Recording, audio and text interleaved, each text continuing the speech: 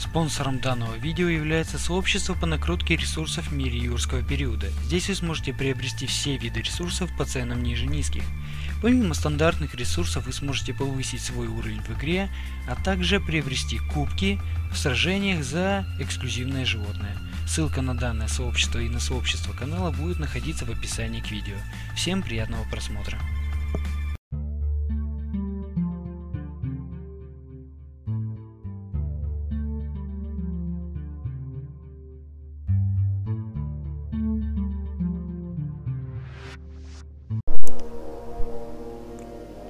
Привет всем мои дорогие подписчики и зрители канала, с вами Дарт, и сегодня мы продолжаем играть э, в мир юрского периода. Значит, сегодня ждет вас 5 э, новых видов, три последних из э, морских, то есть которые там вообще остались, не считая Эдестуса, который является легендарным животным, и за него придется, видимо, побороться э, в турнире за него придется бороться, пока вот не дают возможности. Вот. И два в стандартном парке, двое животных. Ну, начнем, естественно, с эволюции. Для начала можно прокачать аргентинозавра.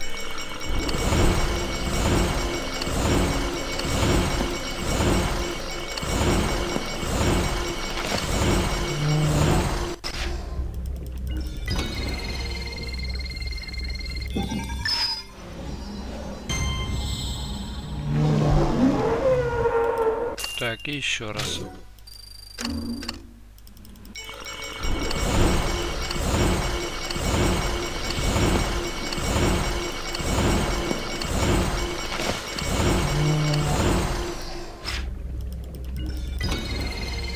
Ах ты как, вот нечестно так, нельзя так делать.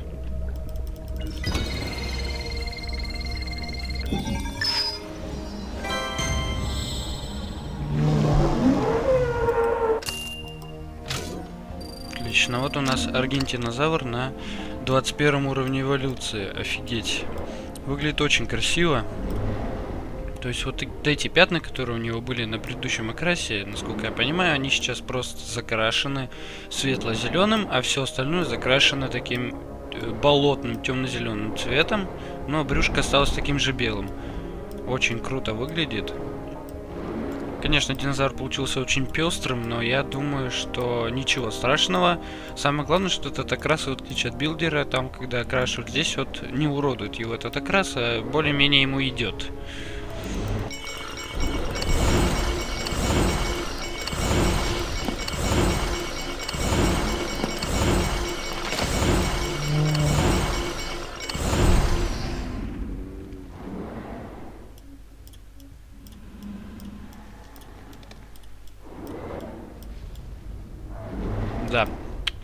Очень добротный окрас такой.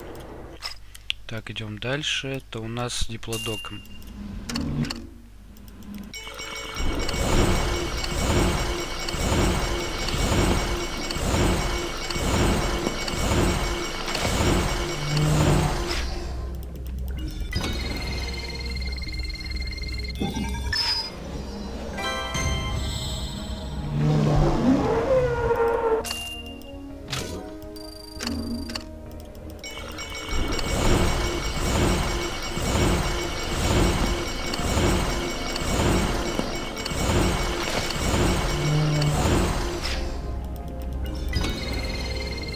Отлично, вот так и надо всегда, с первого раза. С первого раза везде и всюду. Так.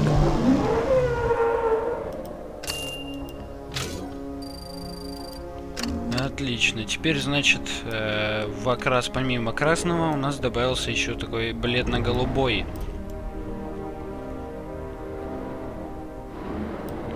Скажем тоже, как у аргентинозавра, слишком пестро, мне кажется, но не уродует его этот окрас, и, и слава богу, грубо говоря.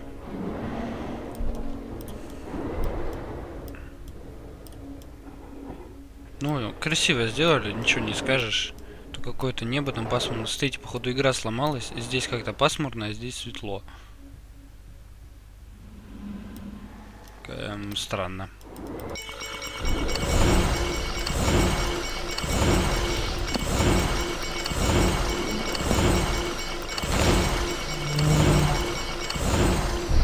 Такой у нас диплодок на 30 уровне эволюции. Скоро уже много животных на 40 у нас докачается. Так, тут еще пеликанимим, насколько я помню. Да.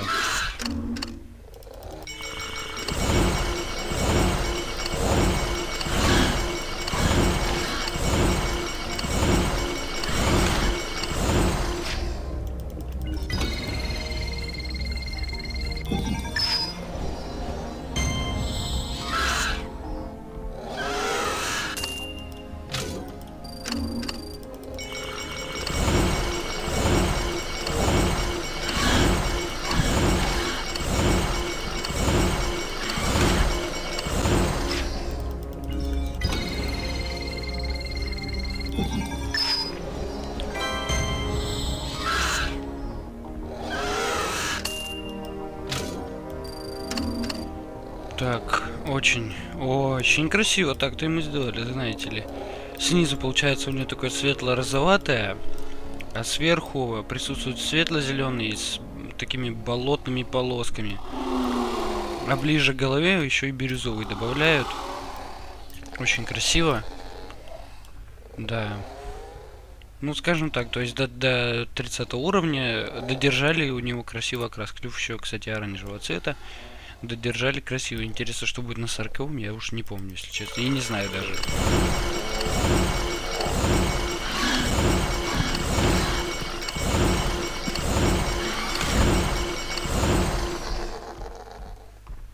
Отлично. Так, тут у нас новые животные. С ним чуть попозже. Вот кинтерозавра можно улучшить.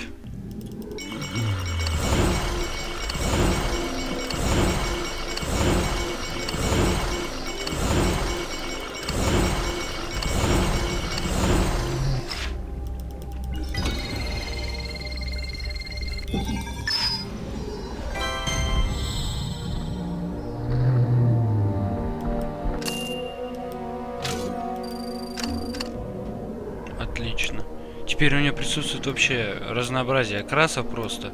Сверху такой бледно-коричневый. По бокам присутствует такой се э, бледно-серый. С таким зеленоватым, еще белыми пятнами. И внизу такой темно-коричневый. То есть раскрасили его разнообразно. Конечно, могли какой-то, не знаю, однотонный цвет подобрать, монотонный такой, но вот решили почему-то его так окрасить. Да, этот баг с тенью что-то меня выбешивает. Что это вообще такое? Программа просто сломалась, походу.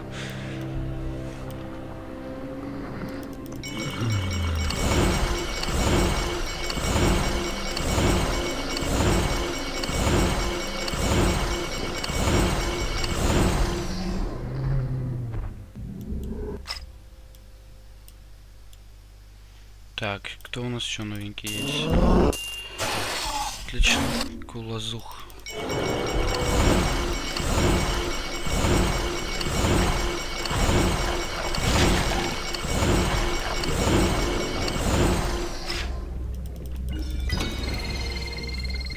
Блин, ну чуть-чуть же было.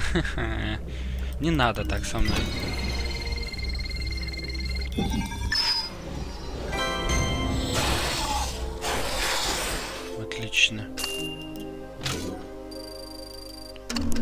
Теперь он похож вообще на какую-то саламандру, если честно. Глаза оранжевые, сам такой весь желтый. С, не знаю, пятна это какой цвет, не знаю, определить не могу.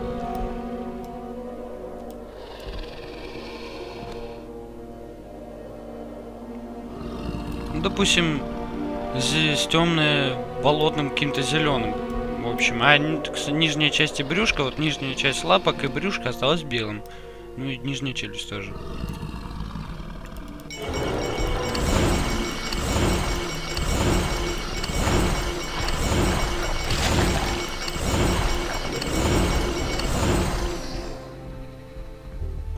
Шикарно. Так, вроде еще кто-то у меня тут есть. Аланка.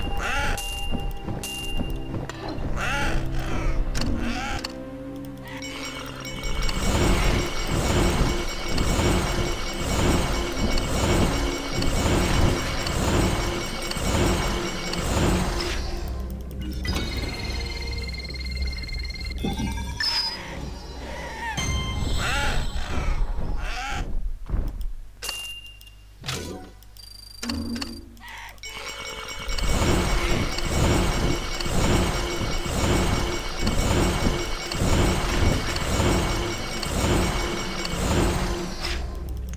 и посмотрим на ламку на 30 уровне. Что ж такое-то?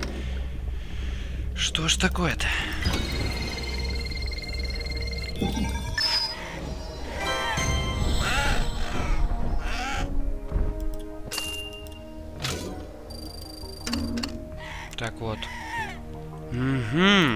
Есть окрас стал еще более таким ярким. Здесь вот эта полоса стала более темно-синий такой. Ну, прям вообще темный синий. Здесь на клюве, где ноздри, там такой светло-фиолетовый. Белая макушка, здесь светло-коричневый. Ну вот очень, как бы, грубо говоря, он преобразился, то есть стал более светлым. Глаза еще почему-то в синий окрасились.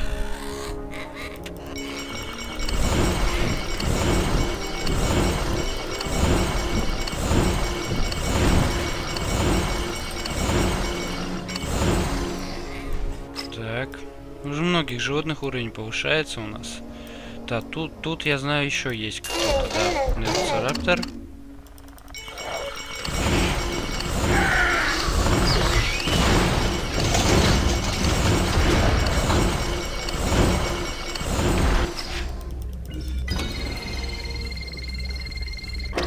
Гад, подставляешь меня, ты подставляешь меня. Да ты чё, ну издеваешься, что ли? Нормально же эволюционировали, давай.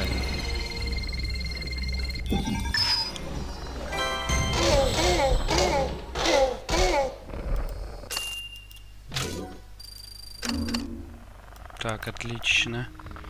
То есть теперь он такой более темный, одновременно светло-зеленый, с такими коричневыми полосками.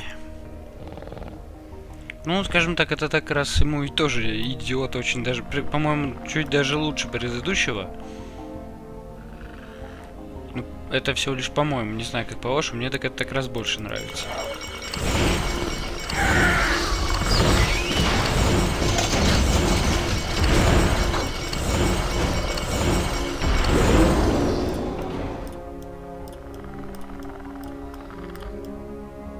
Вот особенно если бы это была стратегия, он сверху бы вот так смотрелся. По-моему, очень красиво. Так, еще можно Афиакадону.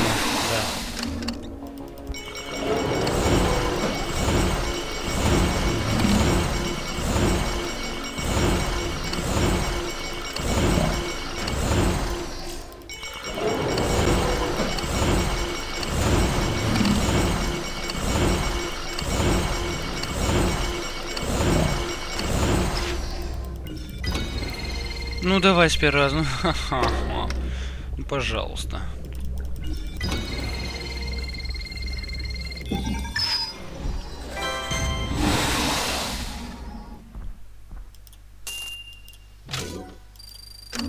Спасибо.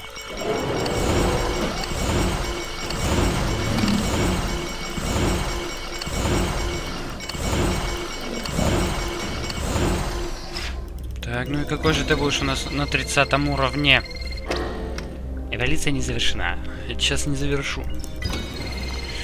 Ой, как же все долго.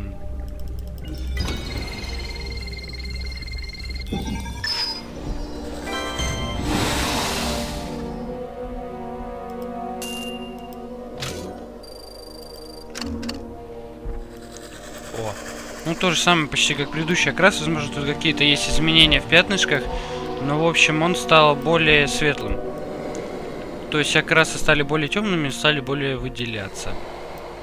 Ну, мне тоже кажется слишком пестрый, но более-менее здесь хотя бы используются не всякие там оранжевые, желтые цвета. Есть, грубо говоря, вот светло-зеленый и есть светло-фиолетовый. Ну, не так сильно выделяется, допустим, если бы это были желтые там или еще какой-то.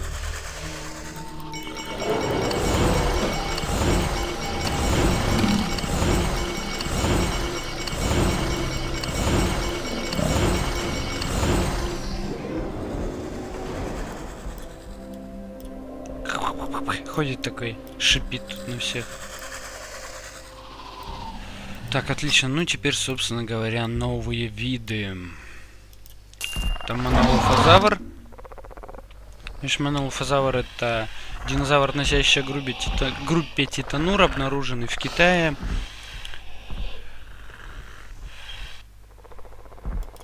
Ну, был обнаружен в Китае в среднеюрской формации Шишугоу. Вот. Э, ну, название монолфозавр переводится как э, ящер с одним гребнем. То есть, если дилофозавр это ящер с двумя гребнями, то здесь с одним. Ну, это все понятно. Единый гребень такой костный вырос был на, на кончике морды. Ну, значит, здесь он показан, грубо говоря, мелким животным. То есть, ну, грубо, грубо говоря, как велоцираптор. Хотя он был довольно крупным, примерно 5,5 метров в длину весил порядка 425 килограмм, в росте был около 2,5-3 метров, то есть довольно-таки большое животное. Здесь он показан почему-то мелким.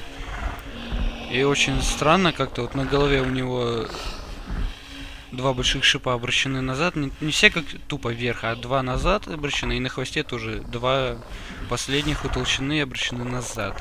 То же самое на ноге. Это вряд ли такое было, это скорее всего фантазия разработчиков.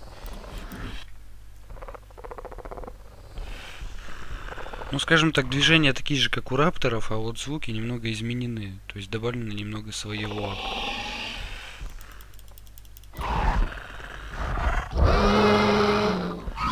А, не, не как у раптора, а как у делофазавра, да, перепутал. Но звуки все равно у него немного другие. Ну-ка еще раз.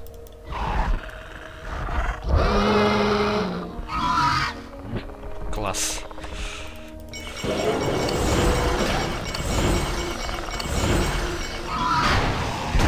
Новый способ охоты. Такого мы пока еще не видели.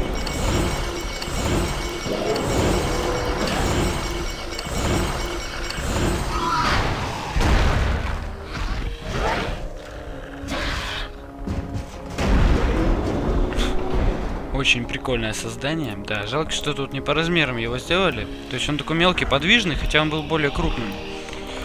Так, ну и второе животное в стандартном парке это анкилозавр. Супер редкий. Вот, значит, анкилозавр это динозавр, ну, анкилозаврид, собственно говоря, из одного, ну, имеют единого предка со стегозаврами.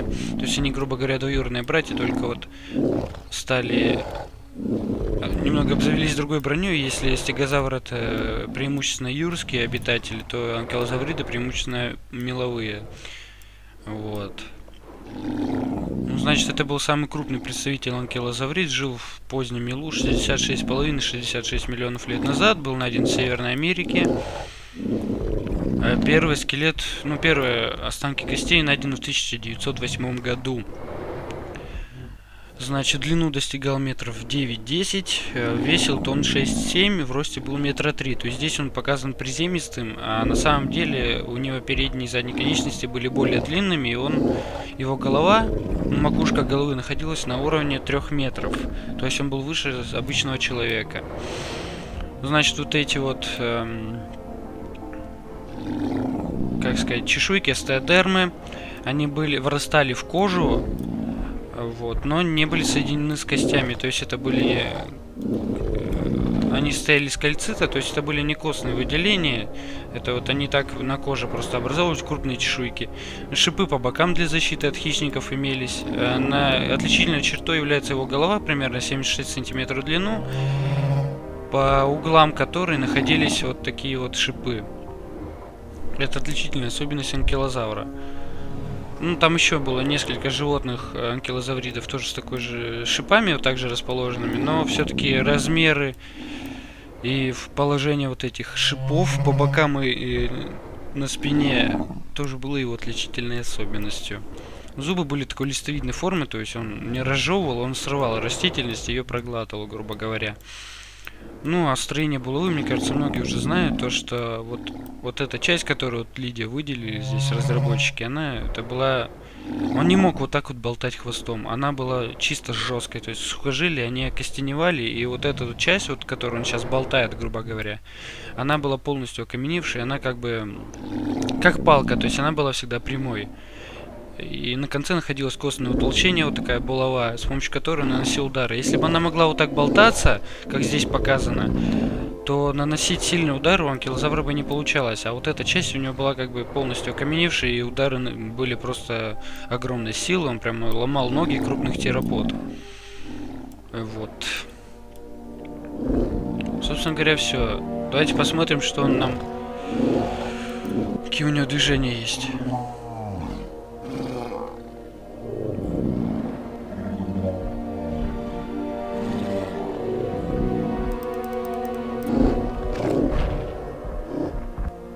Ну, болтать вот так хвостом он не мог запомнить, и все остальное уже не важно.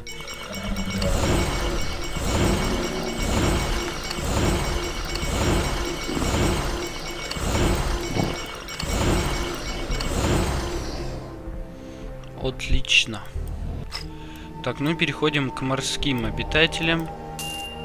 Начнем с бакулита. Значит, бакулит это ам аммонит, грубо говоря, представитель а, аммоноидей, только у него была не закрученная раковина, не спиральная, грубо говоря, а вот такая удлиненная. Здесь он тоже показан очень большим животным, хотя самые крупные особи оцениваются где-то 2 метра в длину примерно. Ну, внешним видом напоминал ортоцератоидей, там всяких э, ортоцеросов там и прочее. Ну, кто знает, тут меня поймет. Значит, здесь у него виден клюв и снизу сифон. Собственно говоря, основные э, компоненты головоногих моллюсков. Вот, ну, это был, было животное из позднего мела Европы, Северной Америки. В длину достигал не более двух метров, да, это я уже говорил. Вот. Ну и отличается также строением лопастной линии от аммонита. Вот. Ну, на раковине там есть такая линия, грубо говоря. Вот по строению этой линии он отличается от аммонитов. Так, ну давайте покормим его, что ли. Ой-ой, а там еще пещера. Вау, классно. Я что-то раньше как-то не замечал. Ну, куда ж ты там улетел? Кормить тебя сейчас будем. Кто же выплывает? Опять какая-то рыба.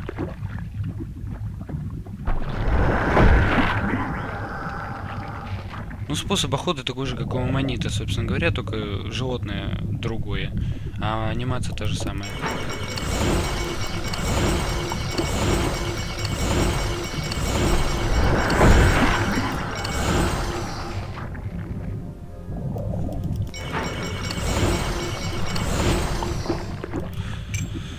Так, вот мы его и прокачали. Отлично. Так, теперь у нас еще одно животное. Это геозавр. Геозавр относился к группе метриоринхов, то есть тоже являлся морским крокодилом. Его конечности уже были полностью, грубо говоря, преобразованы в такие некие ласты, но пальцы и когти все-таки еще остались. Най э, был найден в верхнем мелу ой, ну, раннем Милу, Верхний Юрий, то есть поздний юрский период, где-то 160-130 миллионов лет назад, вот. Достигал длину около 3 метров, на хвосте, так же, как у докозавра, образовался такой плав плавник, помогавший ему набирать скорость в воде. Ну, была очень обтекаемая форма, он был очень гибкий охотник, поэтому мог легко гоняться за всякими там бельминитами, рыбами, какими-нибудь другими моллюсками, то есть вот за рыбой там гонять. Вот. Ну, в, в длину около трех метров весил, ну, порядка 100 кило, 100 кило, может, чуть больше даже. Вот. Такая прелесть. Способ охоты, наверное, такой же, как у докозавра. Ну да.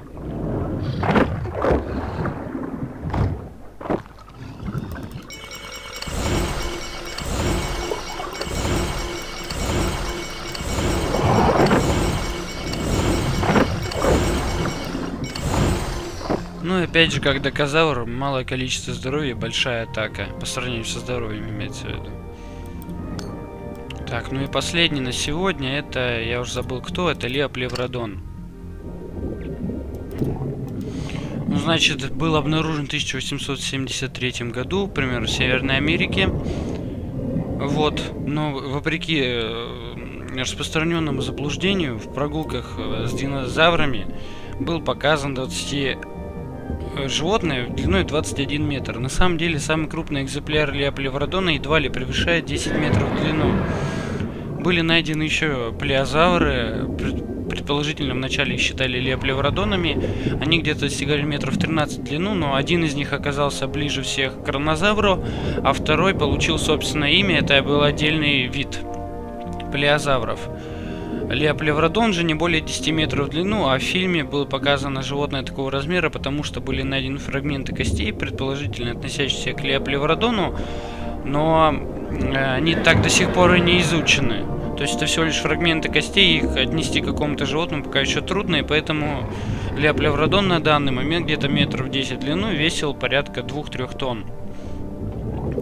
Зубы у него были по 7 сантиметров каждый. Вот. Длина черепа метра около 2 метров примерно. Жил в, в Средней Юре. В Средней Юре, точнее, вот.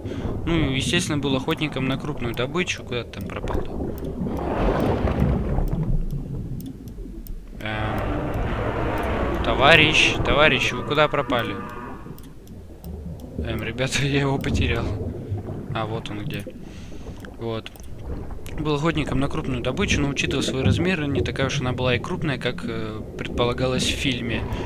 То есть, возможно, стаи они охотились на лидзихтисов, потому что в одиночку он точно бы не справился. Слишком мелковат был. Ну и в 1837 году были вроде найдены его первые окаменелости. Ошибочка в 1873 я местами цифры поменял. Да куда ты уходишь-то постоянно? Ты что там делаешь? Иди сюда. Ну, Леоплевродон я очень всегда хотел, чтобы его добавили в игру. Конечно, все ждали, что добавят 25-метрового э, монстра из прогулок с динозаврами, но вот добавляют вот такую маленькую рептилию. Но я люблю реализм, то есть если он был такой мелкий, то, к сожалению, ничего не поделаешь то пусть такого и добавляют. А ждать такого огроменного на, на пол этого... На пол экрана, да, не стоит.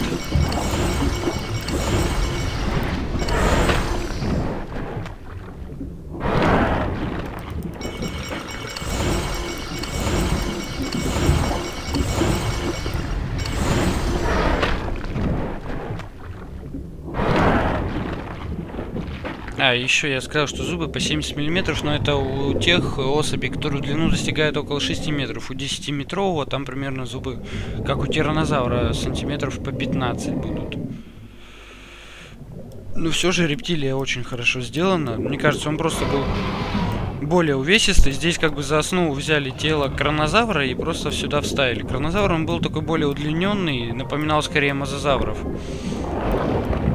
А вот Леоплевродон, он был более увесистый такой.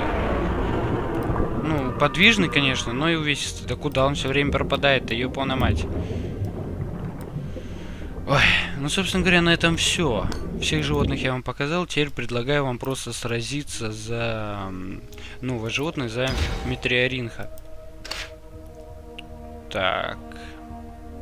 Угу.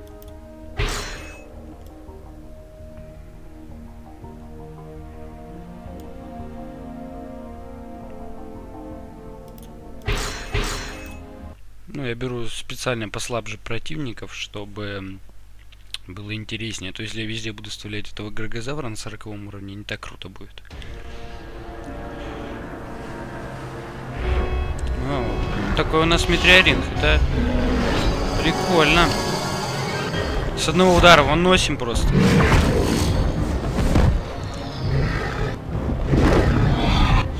Ну, собственно говоря, я поставил пахиринозавра, и теперь он всех вынесет.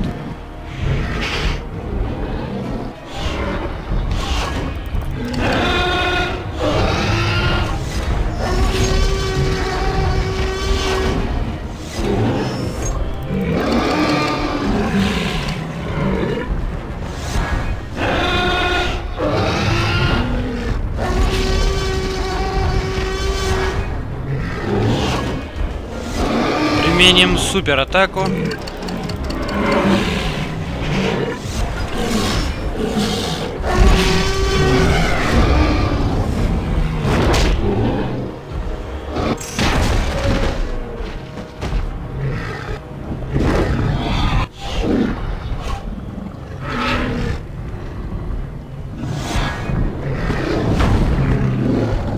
Отлично, ну с тобой я разберусь.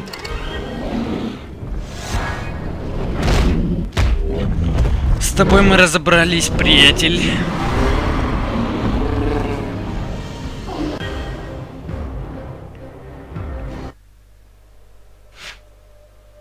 Отлично. Вот его и с, пахи с пахицефалозавром в следующем видео и посмотрите. Так, нет, промазал. Ага, за птернодон уже дадут срузиться. Это круто, надо побыстрее новый уровень получать. Ну, значит, я где-нибудь понадобавляю. Вот здесь, допустим, одного не хватает. Я где-нибудь пона... покуп... куплю, в общем, животных. Чтобы как-то прокачивать имеющихся у нас животных и повышать уровень. А то тут чуть-чуть осталось, грубо говоря, до 22 -го. Ну и нужно уже проходить миссии и прокачивать нашего трицератопса. Собственно говоря, этим я и займусь. Видео, надеюсь, это вот данное видео вам понравилось. Ставьте лайки, подписывайтесь на канал, вступайте в группу канала. С вами был Богдан. Всего вам самого наилучшего, до скорых встреч и всем пока!